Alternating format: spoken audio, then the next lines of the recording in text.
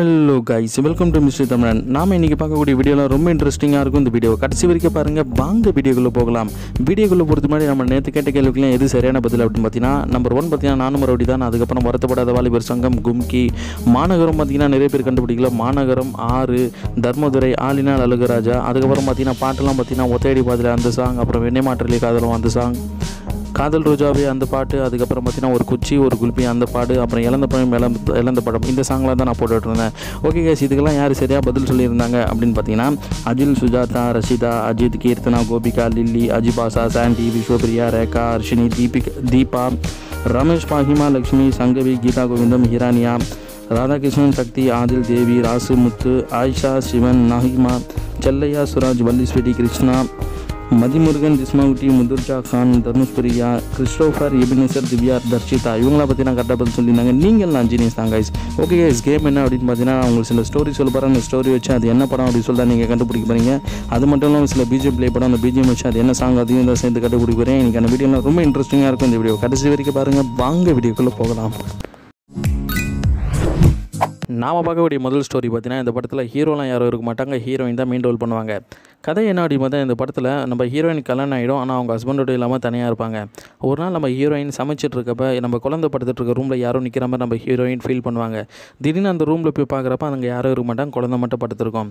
இந்த ஒரு படத்தில் இன்னொரு அனு சுவாரஸ்யமான விஷயம் என்னென்னு பார்த்தீங்கன்னா ஒரு தேட்டரில் ஒரு அனௌன்ஸ்மெண்ட் பண்ணுவாங்க.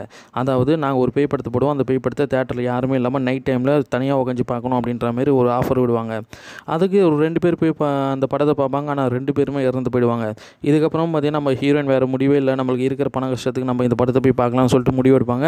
அதுக்கப்புறம் போய் அந்த தேட்டரில் நைட் ஃபுல்லாக அந்த பேய் படத்தை பார்த்து வெற்றியும் அடைஞ்சிருவாங்க. ஓகே கேஸ் நான் சொன்ன இந்த ஸ்டோரி உங்களுக்கு ஏதாச்சும் ஒரு படத்தோட சிங்க் ஆகுது. இது இந்த படம் தான் அப்படி சொல்லி நீங்கள் கண்டுபிடிச்சிங்கன்னா அந்த படத்தோட பேர கீழே இருக்கிற கம்பல்சரி டைப் பண்ணுங்கள் உங்களுக்கான counter start Ten, nine, eight,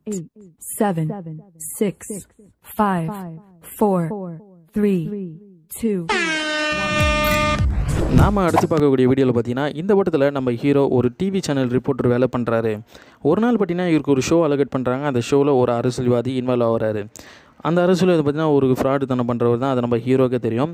ஆனால் டிவி சேனல் என்ன பண்ணுறான்னா அந்த அரசியல்வாதிக்கு ஜால்ரா அடித்து சில அவரை பற்றி பெருமையாக பேசுகிற அளவுக்கு சில நோட்ஸ்லாம் கொடுக்குறாங்க. நம்ம ஹீரோ அவரை பற்றி பெருமையாக அந்த டிவி சேனல் லைவ் ஷோவில் காட்டணும். ஆனால் நம்ம சேனல் ஹீரோ பார்த்திங்கன்னா எல்லாமே பெருமையாக தான் பேசிகிட்டு இருப்பார். திடீர்னு அவருக்கு செம்ம காண்டாகி அவர் நம்ம அரசியல்வாதியை கலைக்க ஆரம்பிச்சிருவார்.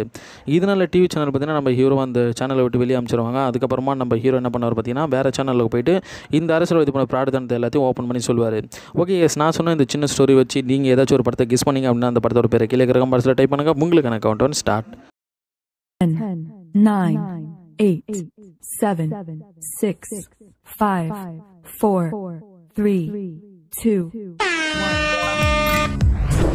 நாம் அடுத்து பார்க்கக்கூடிய ஸ்டோரியில் பார்த்தீங்கன்னா இந்த படத்தில் நம்ம ஹீரோ ஒரு அட்வொகேட் கிராமத்தில் படித்த நம்ம ஹீரோ பார்த்தீங்கன்னா சிட்டியில் போய் ஏதாச்சும் சாதிக்கணும்னு சொல்லி ஆசையோடு இருப்பார். அதே கனவுகளோடு தான் அவரோட காதலியும் இருப்பாங்க. அவங்க காதலியும் மோட்டிவ் பண்ணி நம்ம ஹீரோவை சிட்டிக்கு அனுப்புவாங்க. சிட்டிக்கு வந்து நம்ம ஹீரோ என்ன பண்ணோம்னா அவர் மாமாவோட ரூமில் தங்கிட்டு இருப்பார். எப்பயும் போல் நம்ம ஹீரோ என்ன பண்ணோம்னா சரி கோர்ட்டுக்கு போகலான்னு சொல்லிட்டு கோர்ட்டுக்கு போய் பார்க்குறப்ப அங்கே கோர்ட்டே வேறு மாதிரி இருக்குது இவர் எதிர்பார்த்த மாதிரி இல்லை அங்கே எக்கச்சக்கமான கேஸுகள் இருக்குது நம்ம ஹீரோவும் காலப்போக்கில் டெய்லி வெயிட் பண்ணி பார்க்குறாரு. ஒரு கேஸுமே அவர் கையில் கட்டல மாட்டல. அதுக்கப்புறம் நம்ம ஹீரோ என்ன பண்ணுறாரு ஒரு பொதுநல வழக்கு போகிறாரு ஒரு மிகப்பெரிய கேஸை எடுத்து அதுக்கப்புறமா அந்த கேஸை எடுத்ததுக்கப்புறம் அந்த அந்த கேஸில் எல்லாத்தையும் பாயிண்ட்டு சொல்கிறாரு ஆனால் அவரை சாதிக்க முடியல. ஏன்னா ஆப்போசிட்டில் இருக்க வக்கீல் ரொம்ப பெரிய ஆள். அதுக்கப்புறமா இந்த கேஸில் நம்ம ஹீரோ எப்படியோ ஒரு வழியாக வெற்றியும் அடைஞ்சிடறாரு. ஓகே கேஸ் நான் சொன்ன இந்த சின்ன ஸ்டோரி வச்சு நீங்கள் ஏதாச்சும் ஒரு படத்தை கிஸ் பண்ணீங்க அப்படின்னா அந்த படத்தை ஒரு பேரை கீழே இருக்கிற கம்பார்ஸில் டைப் பண்ணுங்க. உங்களுக்கான count start nine, eight, seven, six, five, four, three, two. நாம் அடுத்து பார்க்கக்கூடிய இந்த ஸ்டோரியில் பார்த்தீங்கன்னா நம்ம ஹீரோ ஒரு வய வயலின் வாசிக்கக்கூடிய ஒரு நம்பராக இருக்கார். கதை என்ன அப்படின்னு பார்த்தீங்கன்னா ஒரு நாள் நம்ம ஹீரோ காரில் போயிட்டு இருக்கப்ப திடீர்னு ஒரு ஆக்சிடென்ட் நடக்குது. நம்ம ஹீரோ பண்ணியிருக்க மாட்டார் அப்படின்னு நம்ம ஹீரோ நினச்சிட்டு இருப்பார். ஆனால் அங்கே ஒரு பொண்ணு பார்த்தீங்கன்னா ஆக்சிடென்ட்டில் கீழே விழுந்து கிடக்கும். இதை பார்த்து நம்ம ஹீரோ ஐயோ அந்த பொண்ணை காப்பாற்றணும் அப்படின்னு சொல்லிட்டு அந்த பொண்ணை எப்படியாச்சும் போராடி ஹாஸ்பிட்டல் வரைக்கும் எடுத்துன்னு போய் கொண்டு போய் சேர்த்துருவார். ஆனால் அந்த பொண்ணு இறந்து போயிடுவாங்க. இதுக்கப்புறமா விக்ஸான நம்ம ஹீரோ எப்பயும் போல் நம்ம ரூமுக்கு போகிறாரு அங்கே ஆக்சுவல் போல் அவர் வேலையெல்லாம் செஞ்சுட்ருக்காரு. ஒரு விஷயத்தை கவனிக்கிறாரு. நம்ம ஒரு வீ நம்ம வீட்டில் யாரோ இருக்காங்க அப்படின்னு சொல்லி அனலைஸ் பண்ணுறாரு அப்போ தான் அவர் வீட்டில் ஒரு பேய் இருக்கிறத கவனிக்கிறாரு.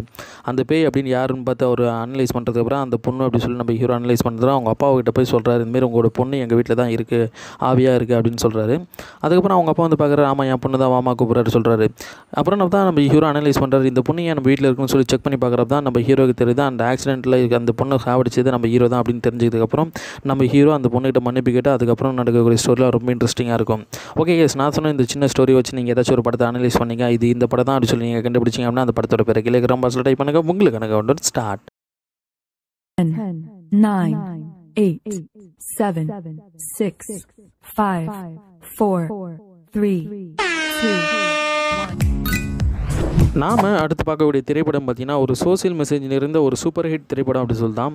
ஜாதியை மையப்படுத்தி நிறைய மக்கள் செய்யக்கூடிய விஷயத்தை இந்த படத்தில் ரொம்ப தெள்ள தெளிவாக சொல்லியிருப்பாங்க. இந்த கதையில் ஸ்டோரி என்ன அப்படின்னு பார்த்தீங்கன்னா நம்ம ஹீரோ ஒரு காலேஜில் அட்வொகேட்டுக்கு படிச்சுட்டு இருப்பார். அதே கிளாஸில் தான் நம்ம ஹீரோனும் படிச்சுட்டு இருப்பாங்க. ஹீரோனோட அண்ணனும் அதே கிளாஸில் தான் இருப்பாங்க. கதை என்ன அப்படின்னு பார்த்தீங்கன்னா ஒரு நாள் பார்த்தீங்கன்னா நம்ம ஹீரோவும் ஹீரோயினும் நோட்ஸுக்கோ சம்திங் பேசிகிட்டு இருக்காங்க. இதை பார்த்து நம்ம ஹீரோனோட அண்ணன் என்ன பண்ணுறாரா நீ எப்படிடா நீ என் தங்கச்சிக்கிட்ட பேசலாம்? நீ கீழ் ஜாதியில் இருக்க பையன் என் தங்கச்சி மேல் ஜாதி நாங்களாம் மேல் ஜாதி நீ என்கிட்ட பேசுறதே கூடாது அப்படி சொல்லுவாங்க. இதெல்லாம் கிட்ட நம்ம ஹீரோக்கு கோவம் வரும் ஆனால் இருந்தாலும் அவர் அமைதியாக தான் இருப்பார்.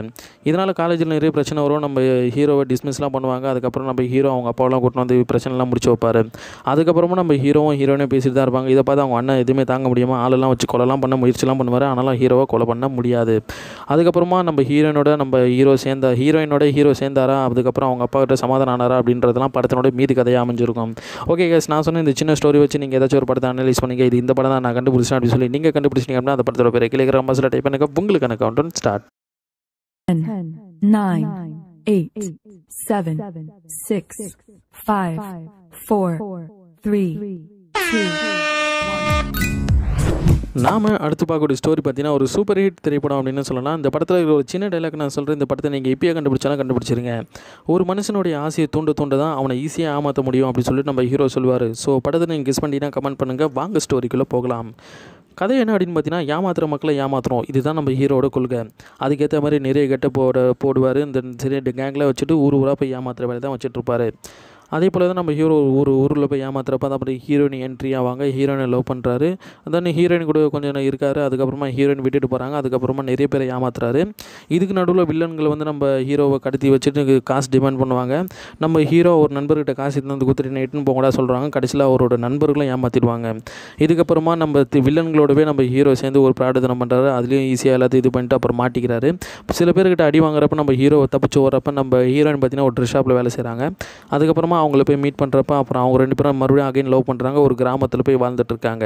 ஓகே கேஸ் நான் சொன்ன இந்த ஸ்டோரி வச்சு நீங்கள் ஏதாச்சும் ஒரு படத்தை கெஸ் பண்ணீங்க. இது இந்த படம் தான் நான் கண்டுபிடிச்சேன் அப்படின்னா கீழே இருக்கிற பஸ்ஸில் டைப் பண்ணுங்கள் உங்களுக்கான count start ten, nine, eight, seven, six, five, four, three, two, நாம் அடுத்து பார்க்கக்கூடிய ஸ்டோரி என்ன அப்படின்னு பார்த்தீங்கன்னா இது ஒரு அவார்டு வின்னிங் திரைப்படம் அப்படின்னு தான் சொல்லலாம். ஒரு சூப்பர் ஹிட் திரைப்படம். கண்டிப்பாக இந்த படத்தை நீங்கள் கண்டுபிடிச்சிங்க அப்படின்னா கண்டிப்பாக இந்த படத்தை பார்த்துருங்க. கதை என்ன அப்படின்னு பார்த்தீங்கன்னா இந்தியாவில் ஒரு தூய்மை இந்தியா சொல்லி ஒரு ரூல்ஸ் இப்போ கொண்டு வந்திருக்காங்க. அதாவது எல்லார் வீட்டிலும் பாத்ரூம் கண்டிப்பாக இருக்கணும் அப்படின்னு சொல்லிட்டு இதே தான் இந்த வில்லேஜுகளுக்கும் போட்டிருப்பாங்க. கதை உள்ள ஒரு முக்கிய கரு என்ன பார்த்தீங்கன்னா நம்ம ஹீரோ ஹீரோயினை பொண்ணு பார்க்க போகிறப்ப ஹீரோயின் நம்ம ஹீரோ கிட்ட கேட்குற ஒரே வேண்டுகோள் என்னென்னா உங்கள் வீட்டில் பாத்ரூம் இருக்கா? இங்கே எங்களுக்கு அங்கெல்லாம் கஷ்டமாக இருக்கும். உங்கள் வீட்டில் பாத்ரூம் இருக்குனாலே போதும் நான் உங்களை கட்டிக்கிறேன் அப்படின்னு சொல்லுவாங்க. அதுக்கப்புறம் நம்ம ஹீரோ என்ன பண்ணுவோம்னா ஓகே நம்மளுக்கு தான் இந்தியாவில் அனௌன்ஸ்மெண்ட் பண்ணாங்களே நம்மளுக்கு சில காசு வந்துடும் பாத்ரூம் ஆல்ரெடி கட்டிகிட்டு இருப்பார் கொஞ்சமாக கட்டிகிட்டு இருப்பார். அதுக்கப்புறமா ஹீரோனும் சரி ஓகே நான் நம்பி வரேன்னு சொல்லிட்டு கல்யாணம் பண்ணிட்டு வருவாங்க. பார்த்தா அவங்க வீட்டில் அப்போ தான் பாத்ரூமே கட்டுறாங்க. இவங்க ஹீரோயினுக்கும் ரொம்ப சந்தோஷம். ஓகே நம்ம எங்கேயாச்சும் நிம்மதியாக பாத்ரூம் போகலாம் ஒரு பாத்ரூமாக கட்டுறாங்க அப்படின்னு சொல்லிட்டு இதெல்லாம் பண்ணுறாரு அதுக்கப்புறம் பார்த்தீங்கன்னா சில பிரச்சனைனால அந்த பாத்ரூம் கட்ட முடியாமல் இடிஞ்சு விழுந்து போயிடுது. இதனால் வெக்ஸான ஹீரோயினுக்கு பார்த்தீங்கன்னா சில அடிபட்டுருது அதுக்கப்புறமா அவங்க ஹீரோ மனநல பாதிக்கப்பட்டு படுத்து படுக்கே ஆகிடுறாங்க. இதை பார்த்து நம்ம ஹீரோ என்ன பண்ணுறாரு பார்த்தீங்கன்னா என் மனைவி நீங்கள் கருணை கொலை பண்ணிவிடுங்க இதுக்கப்புறம் அவன் உயிரோடு இருக்க வேணாம்னு சொல்லி கோர்ட்டெல்லாம் போய் கெஞ்சுறாரு. அதுக்கப்புறம் அவங்க மணி தானாகவே இறந்து போயிடுறாங்க. ஓகே கேஸ் நான் சொன்ன இந்த ஸ்டோரி வச்சு நீங்கள் ஏதாச்சும் ஒரு படத்தை கெஸ் பண்ணீங்க. இது இந்த படம் தான் நான் கண்டுபிடிச்சேன் அப்படின்னா கீழே இருக்கிற பஸ்ஸில் டைப் பண்ணுங்கள் உங்களுக்கான count start ten, nine, eight, seven, six, five, four, three, two,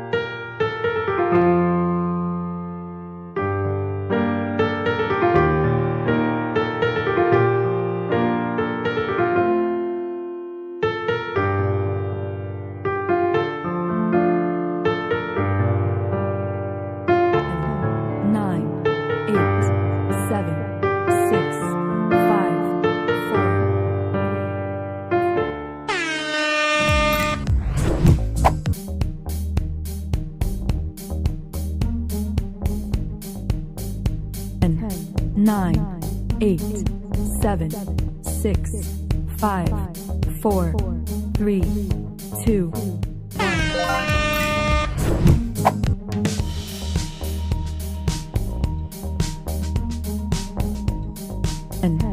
nine, eight, seven, six, five, four, three, two.